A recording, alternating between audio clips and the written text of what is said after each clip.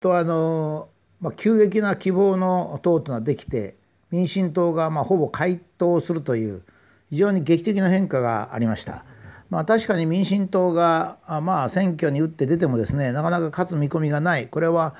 え、もう世論調査でですね民進党の支持者が非常に少なかったわけですから、まあ、ある意味で無謀な選択とは言えないと思いますね。まあ、よく昔から言うように座して死を待つなら打って出ようと、まあ、いうことですから、まあ、打って出るやり方は相当激しくなるわけですがそれでも、まあ、座して死を待つより打って出るということがあると思いますね。それで、えー、まあ民進党から100名ぐらいの議員のうち30名ぐらいが、まあ、小池さんに排除されるということで、まあ、これはねさすがのあの、えー、福田さんもです。あ福田さんじゃないや。野田さんもですね野田元首相もですねえー、まあ股の下をくぐるわけにはいかないっていう言い方をしてますがまあ屈辱もここまでなるとですねなかなか納得できないところはあるでしょうね。ただですね私は今度の希望の党もですね民進党の人が70名ぐらい入るってことになりますとねやっぱり民主民主党がかつて政権時代に公約を無視したということに対して非常にあのこうきちっとした説明が必要だと思います。今まではま民主党というところにいなかったあのいたわけですから、まあ、民進党と言い換えてもですねいなかったわけですからいたわけですからあんまり露骨なことは言えなかったかもしれませんが今度希望の党とか入るのであればですね、まあ、主力の人ですね前原さんとか枝野さんそれから野田さん、まあ、無所属に出るにしてもですねそれからまあその他の主力の人ですね星野えー、えっと誰でしたかね、えーま、あ全部そうですけどその人たちがですねなぜ高速高速道路の無料化ができなかったのかなぜできなかったのかということですね。それからなぜ高等学校の授業料これはかなりやったんですができなかったのか。それから鳩山さんの個人プレーというかもしれませんがそれでも沖縄の基地の問題をなぜ解決できなかったのか。なんとかダムっていうのを前川さんが手がけましたよね。あれは今どうなって結局どうだったのか。蓮舫さんのなんか2番じゃダメっつった切るやつもありますね。ああいったものが全てダメだったのか。野田さんはなぜ減税と言ってたのに増税をしたのか。そういう説明をですね、一つ一つやるべきだと思うんですよ。で、官僚なんかに全然遠慮する必要ないですよね。その、この前の家計問題で私が非常にえー、ままずい方向に行ってるなと思ったのはですね前川事務次官という何にも選挙の洗礼も受けてなくて公務員試験を受かって出世してきた人の方がですねあたかも首相官邸よりも決定首相官邸の決定よりも上だと。だから露骨にですね官僚のトップが免従腹配つまりあ納得してないよというようではですね私はもう日本の民主主義というのは成立してないと思うんですよ。それで民主党が公約を守れなかった理由の一つにですね役人の抵抗っていうんですけどその役人の抵抗っていう言葉で済ませてもらっては困るんですよ。具体的にどういう抵抗があったのかってことですよ。ダムの場合役人は何をどういう抵抗したのかサボタージュだったのか露骨に多数が多数派政策をやったのか野田さんは何で減税つったのに消費税を上げたのか上げることを決定したのかそれは財務省が、えー、野田さんをもしやんなかったら殺すと言ったのか それとももちろん殺すと言ったわけじゃないと思うんですけど税務調査を入れるぞと言ったのか何があったのかっていうことですね。それをやっぱりもうこの際正直に言うことが大切だと思うんですよ。まあ、枝野さんの問題については官房長官の時に1年1ミリシーベルトを無視して、えー、被爆は直ちに健康に影響はないと言った。なぜそう言ったのか。その影響に対する責任をどう取るのか、まあ、取らなくてもいいけどね。取るか取らないか。そういうことを一つ一つきちっとですね説明していく。あの3年間というのは、えー、我々国民にとっては悪夢の3年間と言われてるわけですよ。悪夢の3年間を演じた人たちが希望の塔で再出発するったってそれは無理なんですよ。悪夢の人たちだから。悪夢が希望に変わるためにはですねやっぱり悪夢をもたらした人が本当に心の底からですね政治をやるために自分は何が問題だったのかということをやっぱり言わなきゃいけないと私は思いますね。それから具体的な政策では希望の党が原発ゼロとか消費税を上げないとこ言っておりますがまこの2つは私なんか非常にいいと思うんですね。ただ民主党と同じなんじゃないかと思うんですよ。原発ゼロというけど実際上は原発をやめない。それから消費税上げずもそう言って上げる。でまあ小池さんの流儀ですと小池さんというのは敵を作って批判が敵に行くようにして自分は良い子を演じるっていうそういう手法ですからね例えば、えー、とあの都知事選挙の時には都のボス自民のボスとか言って内田さんつったかな？なんかその人がいかにもなんかおじさんみたいなおじいさんみたいな感じでなんかこう談合しそうな感じの人を捉えてそしてその人をマスコミの表面に出す。本当は彼は非常に良かったかもしれませんからね。分からない。分からないまま悪人を作って自分が当選する。こういうやり方でしたね。それから今度オリンピックの施設の話が始まってまあものすごくお金も高くなったそれから競技会場もまあ3倍とかなったそうすると誰が出てきたかって森さんなんですやっぱり元首相の森さん。で森さんもなんとなく悪役としては適切ですよね。だから森さんを悪役にしてえー、自分はいい子だよっていうことを小池さんはやったわけですよ。いかにもボート会場とかバレエ会場に行っていい子の素振りをしたんですけど結局はあれどうなったかも分かんないんですよ。どういう基準でやっていくら儲かあの安くなったのかもよく分かんない。多分ですね全部かかるお金の1%も安くなってないと思うんですよ。もっとずっとずっと下だと思うんですね。だから意味がない仕事をしたわけですね。ところがやっぱりこれはマスコミが踊ったのかマスコミに国民が脅されたのかもしくは国民自身がそこまで配慮がいかなかったのか知らないんですけどもなんとなく小池さんがうまくやったように見えるつまり成果は全くないんだけど悪人を作ったってことですね。それから今度豊洲の問題になったら突然悪人で出てきたのは石原さんなんですよ。あの人もなんとなく悪人的でしたね。だから小池さんは今までのそのえー、都知事としての仕事はですね問題を解決して東京の都のためになったんじゃなくて、えー、悪人を3人作ってそれも大体こう70から80ぐらいのおじいちゃんを悪人にしてそれをなんとなく自分はそれほど批判してないんだけども周りのマスコミへ批判するようなルートを取って批判させて結局豊洲もですね今でもベンゼンのえー、オーバー環境基準オーバーは120倍とか200倍とかなってにもかかわらずもう絶対にこう口触れないと。もう豊洲にしか決まらないとなるとですね絶対に口に出さない。具体的にやることはいっぱいあるんですよ豊洲の地下の空間をどうするかとかですねそれから移動する時の問題をどうするかとかそういう問題がいっぱいあるんですけど絶対にもう言わないやれば傷つくから言わないということですね。それから今まで自分が豊洲に、えー、行かないと言ってたやつを行くことにしたんじゃないかと思うんですけどそれもはっきり分かんないんですけどその理由もはっきりしないです。まあ小池さんの悪口言えばいくらでもあるんですけどもそういう人がね原発ゼロっつってもこれはもっと大変ですからね消費税上げずももっと大変ですよ。つまり消費税を上げる必要ありませんが財務省のものすごく大きな抵抗をどのように排除するのかってことを言ってくんないと同じになっちゃいますね。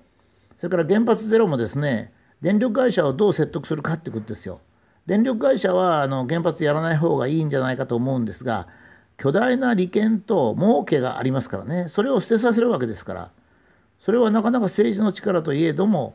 えー、電力の利権を捨てるっていうのは大変なんですよ。だからこれをどうするかですね。だから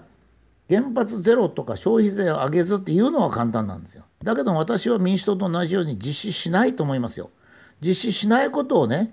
我々が信じてそれ投票しても、今日ちょっとどっかのあのブログじゃなくて、ツイッターかなんか見たらですね、いや原発ゼロだからどうしても小池さんになってもらわなきゃって言ってるけど、それは原発ゼロと言っててやればですよ。だけど東京都の都政をオープンにするとのも言っててやらなかった。オリンピックの施設を全部抜本的に見直すのをや言ってやらなかった。豊洲との問題も豊洲が汚れてたら映らないっつったのにそれもやらなかった。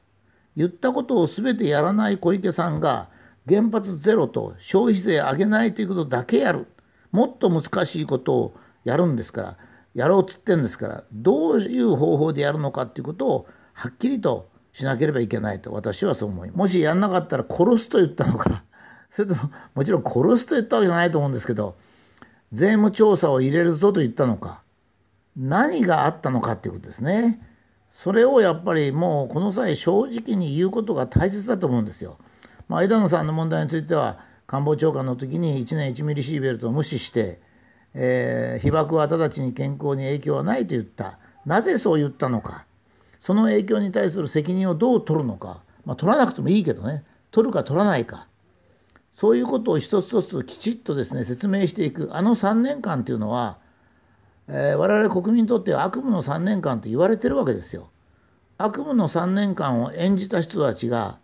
希望の塔で再出発するったってそれは無理なんですよ。悪夢の人たちだから。悪夢が希望に変わるためにはですねやっぱり悪夢をもたらした人が本当に心の底からですね政治をやるために自分は何が問題だったのかということをやっぱり言わなきゃいけないと私は思いますね。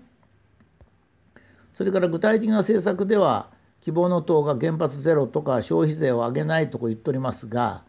この2つは私なんか非常にいいと思うんですね。ただ民主党と同じなんじゃないかと思うんですよ。原発ゼロというけど実際上は原発をやめない。消費税上げずもそう言って上げる。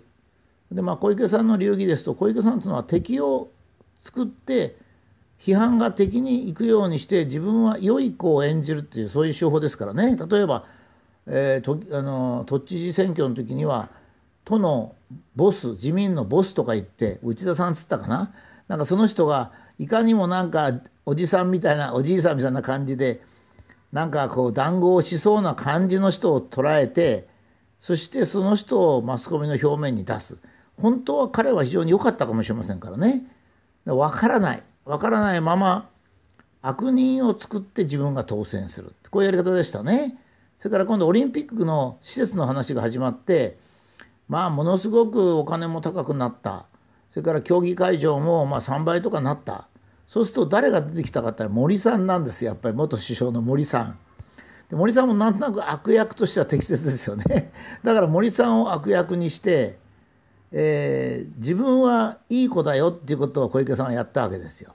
いかにもボート会場とかバレエ会場に行っていい子の素振りをしたんですけど結局はあれどうなったかも分かんないんですよ。どういう基準でやっていくら儲かあの安くなったのかもよく分かんない。多分ですね全部かかるお金の1%も安くなってないと思うんですよ。もっとずっとずっと下だと思うんですね。だから意味がない仕事をしたわけですね。ところがやっぱりこれはマスコミが踊ったのかマスコミに国民が脅すことを一つ一つきちっとですね説明していくあの3年間というのは、えー、我々国民にとっては悪夢の3年間と言われてるわけですよ。悪夢の3年間を演じた人たちが希望の塔で再出発するったってそれは無理なんですよ。悪夢の人たちだから。悪夢が希望に変わるためにはですねやっぱり悪夢をもたらした人が本当に心の底からですね政治をやるために自分は何が問題だったのかということをやっぱり言わなきゃいけないと私は思いますね。それから具体的な政策では希望の党が原発ゼロとか消費税を上げないとこ言っておりますが